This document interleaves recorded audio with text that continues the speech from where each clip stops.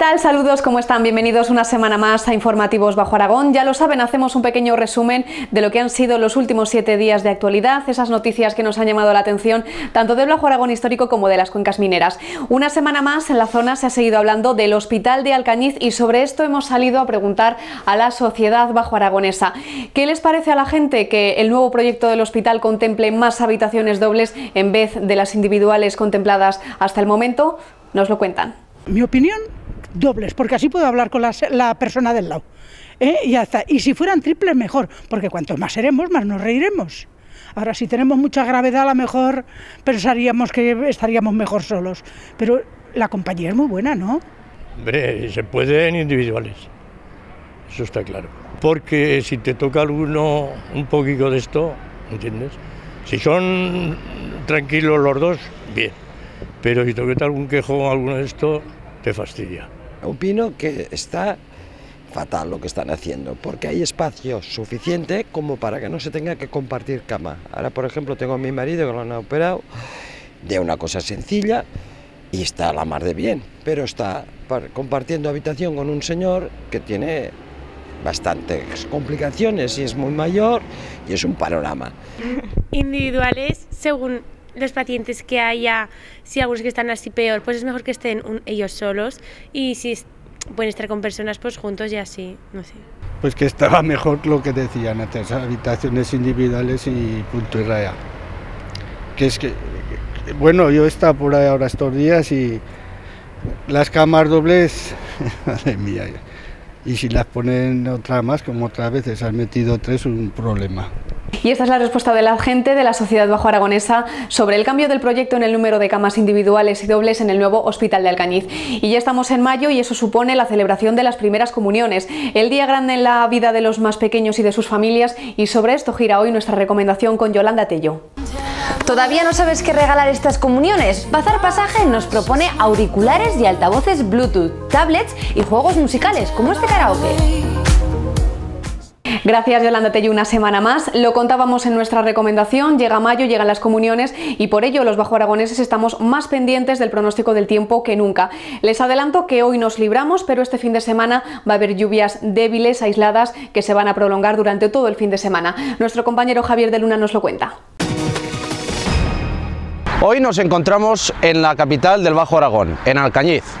¿Qué tal? ¿Cómo están? Estrenamos mes y estrenamos uno de los meses más lluviosos y más soleados también del año. Parece un contrasentido, pero tenemos por delante un mes que en muchos sitios del Bajo Aragón histórico da los mayores valores de precipitación, pero también es a la vez un mes en los que las horas de sol pues ya son bastante abundantes. Tendremos una borrasca que nos afectará indirectamente, pero que comenzará mañana ya a darnos las primeras precipitaciones que en cualquier caso serían débiles, más extensas y probables en las zonas del Matarraña y del Maestrazgo. Para el domingo las precipitaciones irían a más, abrazarían ya a casi todo el territorio, pero tampoco esperamos que sean muy cuantiosas y tampoco esperamos que esté todo el día lloviendo, pero sí que nos olvidamos de la estabilidad, nos olvidamos del sol, de los cielos despejados, lo vamos a ver poco, el sol este fin de semana y lo que les puedo avanzar para la semana que viene es que nos esperan unos cuantos días consecutivos en los que la tónica general va a ser la pasada de frentes fríos y cálidos y de borrascas que aportarán inestabilidad. Confiemos pues en que las precipitaciones este mes de mayo caigan como tienen que tocar, porque ya conocen el refrán, agua de mayo, pan para todo el año. Que pasen un feliz fin de semana.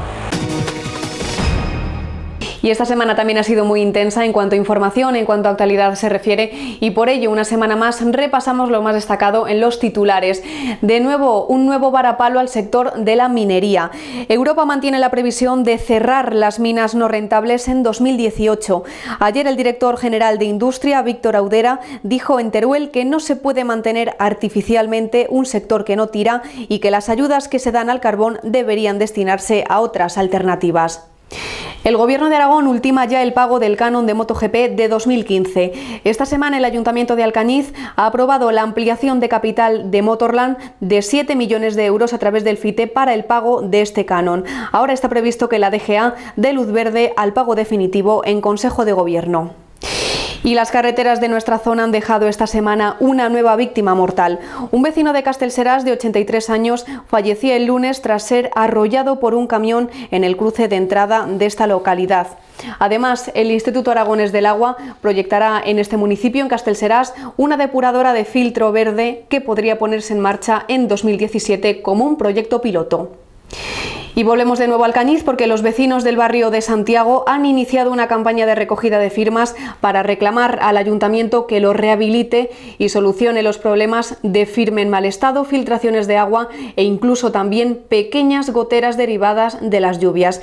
En total estamos hablando de que podrían estar afectados entre 50 y 60 familias y en este sentido el ayuntamiento ya ha anunciado nuevas actuaciones. Y terminamos estos titulares con una buena noticia porque esta semana en Calaceite se ha instalado ya la primera de las dos calderas de gasoil con las que va a contar el colegio público tras el incendio de marzo que obligó, recordamos, a desalojar a los niños e hizo que tuviesen que dar clase en otros locales municipales. También en esta comarca, en el Matarraña, se ha adjudicado ya a una empresa privada de Valderrobres la gestión de la planta de purines de Peñarroya. Y el proyecto Apadrino un Olivo continúa dándose a conocer, además de potenciar allá donde va la imagen del municipio de Oliete. También este fin de semana el equipo ha participado en el rodaje de la película El Olivo de Iciar Boyain, que sale hoy a la gran pantalla. Hoy llega a los cines El Olivo, una película que Iciar Boyain ha rodado en la localidad castellonense Canet Los Roch, conocido como municipio de los olivos milenarios. Se centra en una historia que gira en torno a la venta de un árbol cargado de valores para una familia del Bajo Maestrazgo. Todo está contado por caras conocidas, entre ellas las de los actores Ana Castillo, Javier Gutiérrez y Pep Ambrós. Pero hablar de olivos también es hablar de Oliete. Los miembros de apadrinaunolivo.org no dudaron en contactar con Boyaín para colaborar y para continuar dando visibilidad a la iniciativa solidaria. Hace unos días el equipo regresó a la zona de rodaje para participar en un preestreno en San Mateo.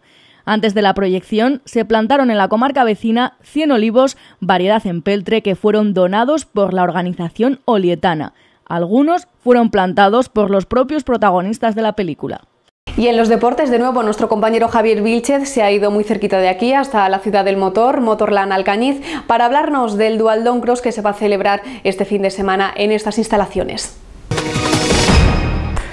Bueno amigos, nos hemos acercado hasta el circuito de autocross de Motorland porque aquí mañana sábado se va a disputar el Duatron Cross Escolar, valedero para el Campeonato de Aragón.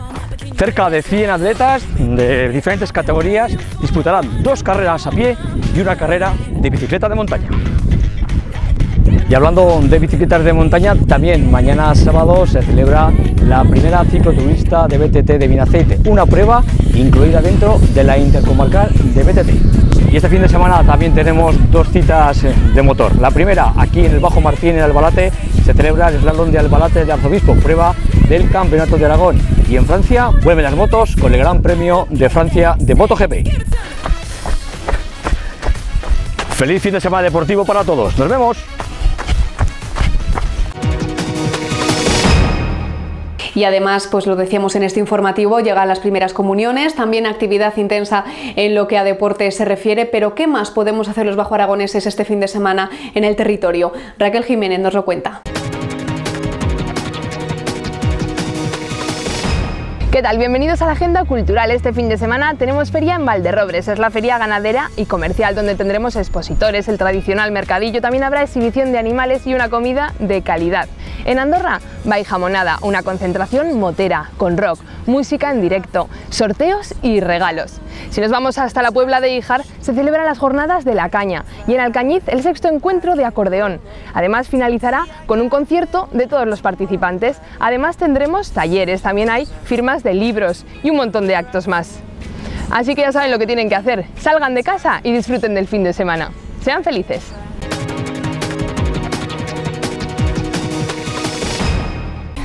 Cientos de ideas para la primera comunión en Bazar Pasaje.